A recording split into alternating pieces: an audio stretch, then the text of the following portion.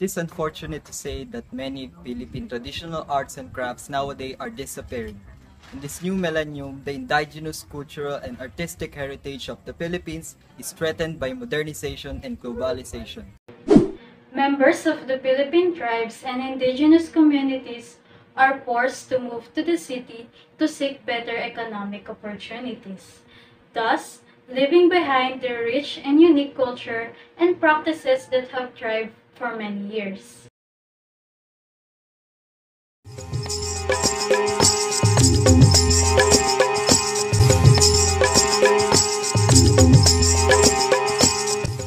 Nagawad sa Manlilikha ng Bayan or also known as National Living Treasure Award is a search for finest traditional artists of the land. As envisioned under RA 7355, Manlilikha ng Bayan shall mean a citizen engaged in any traditional art uniquely Filipino, whose distinctive skills have reached such a higher level of technical and artistic excellence and have been passed on to and widely practiced by the present generation in his or her community with the same degree of technical and artistic competence. The state's recognition of such sociocultural contribution was formalized through this act in 1992. Senate Resolution Number or SRN 765 this resolution was adopted by the Senate of the Philippines in 2014 aimed at recognizing the accomplishments of the country's living treasures. The very essence of this is to get to know the Gamaba awardees of the Philippines and how their exemplary works contributed to the development and preservation of traditional art forms of the country. By honoring those artists who keep the tradition alive by practicing and teaching the younger generation about the indigenous art. These artists are also recognized as the country's national living treasures.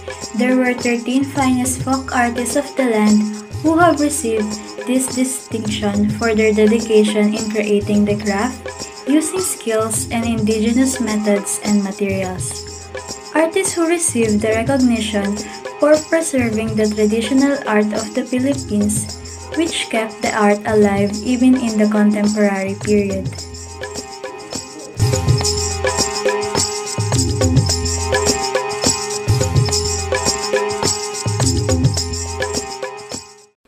Does one become a manlilikha ng bayan?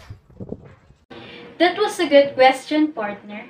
To become a manlilikha ng bayan, a candidate must possess the following qualifications.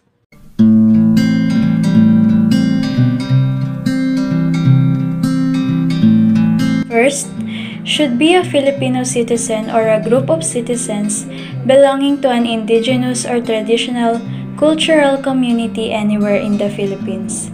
Engage in Filipino traditional art in the following categories folk architecture, maritime transport, weaving, carving, performing arts, literature, graphic and plastic arts, ornament, textile or fiber art, pottery, and other artistic expression of traditional culture.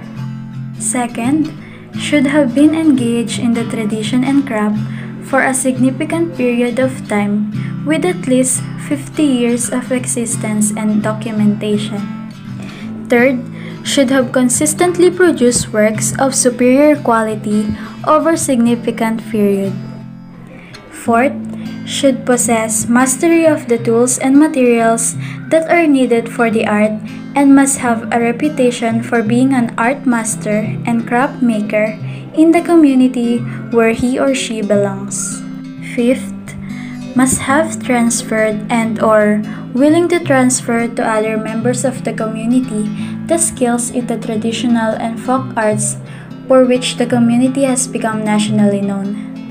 However, a candidate who, due to age or infirmity, has left him or her incapable of teaching further his or her craft may still be recognized provided that he or she must possess the qualifications as enumerated above. To be a Gamaba awardee is such an honor, right partner? That is right, partner. Just like those awardees that we are going to feature, the excellence in their respective fields and their stories in this video.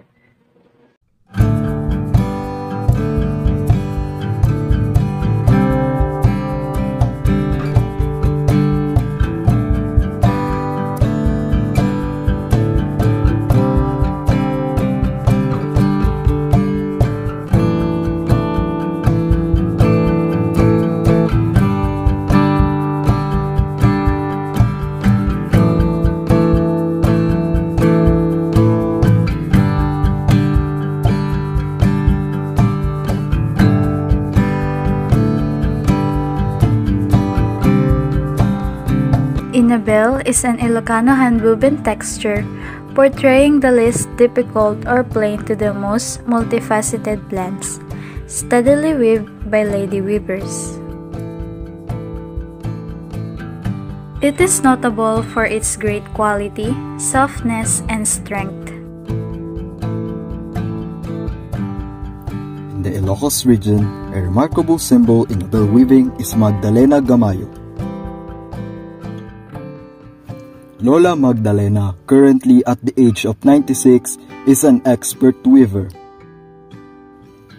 In 2012, Lola Magdalena was honored as a National Living Treasure or Gawad sa Manlilikha ng Bayan mandated by the National Commission for Culture and the Arts for the abel weaving tradition in the country.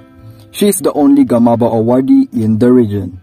To continue the abel weaving tradition in Ilocos Norte, Lola Magdalena still continues to share her skills by giving lectures and some tutorials to local women and students with the methods and techniques.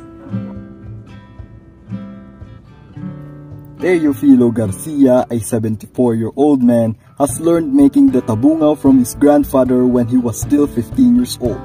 Whenever he goes out, he often wears his tabungaw to the curiosity of other people who often ask them order from him. Over the years, he has mastered and innovated his craft to the point of being recognized nationally. His handmade hat was made of native gourd, hollowed out, polished, and varnished to the bright orange sheen to improve its weather resistance. The inside is lined with finely woven rattan matting, and brim sports of sable bamboo weave for accent. Because of his contribution, in 2012, he was honored as National Living Treasure or Gawad sa Manlilikha ng Bayan Awardee together with Magdalena Gamayo.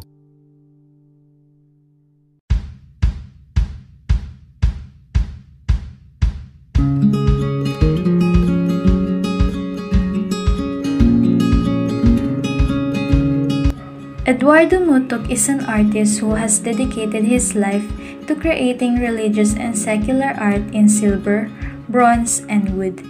His intricately detailed retablos, mirrors, altars, and carrozas are in churches and private collections. A number of these works are quite large, some exceeding 40 feet, while some are very small and feature very fine and delicate craftsmanship. He is the only one Kapampangan recipient of Gawad sa Manlilikha ng Bayan who proclaimed in 2004.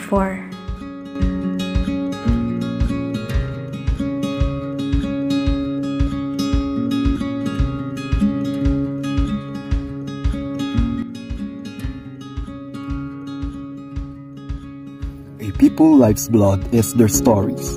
People's stories provide an insight into their thoughts, beliefs, and desires. People's tales in reality eloquently encapsulate the essence of their humanity. This situation isn't exclusive to anyone's race. It's like a thread that runs between the ancient East civilization and the modern West cultures. Federico Caballero, a Panay Bukidnon from the mountains of central Panay, has worked tirelessly to document his people's oral literature, particularly the epics, these 10 epics written in a language related Kindray A but no longer spoken form an encyclopedic folklore that only most dedicated and gifted students can learn. In the year 2000, the National Commission for Culture and the Arts named him a National Living Treasure for weaving the fabric of oral tradition.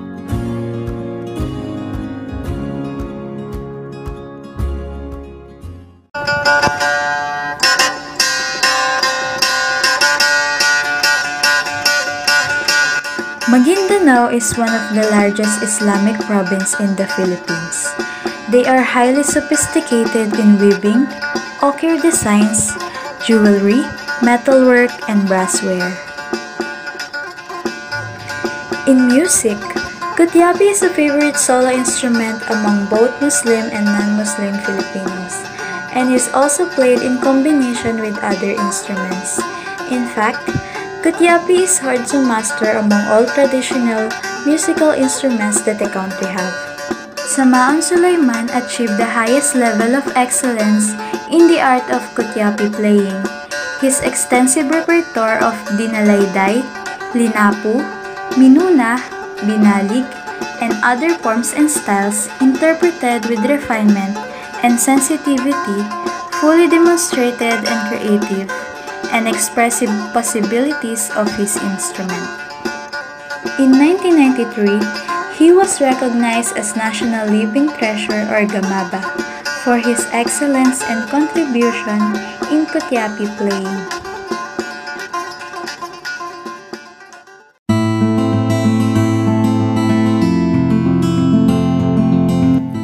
Lang Dulay speaks more eloquently than words can abaca fiber as fine as hair. Her nimble hands recreate images from her people's distant past, the crocodile, butterflies, and flowers, as well as the mountains and streams of Lake Sebu, in South Cotabato, where she and her ancestors were born, and fill the fabrics with her longing to be remembered. Lang Dulay does everything she can to preserve her people's tradition. Lang Dulay is familiar with hundred designs, such as Buling Langit, clouds, bankiring, hairbands, and kabangi, butterfly, each one unique for their stories it tells. She spin her stories with grace, using red and black dyes. Her textile reflect her people's wisdom and visions.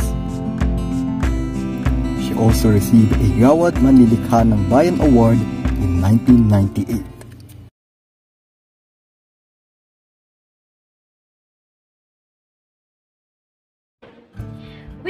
Filipinos must begin to embrace and preserve our cultural heritage so that future generation can understand and enjoy our past as well. These systems are more capable of telling stories and history than those used in our textbooks. The Philippines' riches included not only its natural splendors and elegance, but also the culture and one tribe here. Just like the 13 Gamaba awardees who spend their lives in nurturing, preserving, and teaching the cultural treasure that our country owns. They continue to strive harder in teaching younger generations. They peacefully continue what they do in the needs of technological innovation that the changing world brought. They have no fine praise, acknowledgement, or appreciation from a society that has not yet learned how to appreciate the art of a culture they perform. But as for Commission for Culture and the Arts, it is possible to recognize those significant Filipino artisans who perform the gift treasure that God given to them. I am April Jade Javier, I am James Andrew Viterbo. And this, is Gamaba, the National Living Treasures.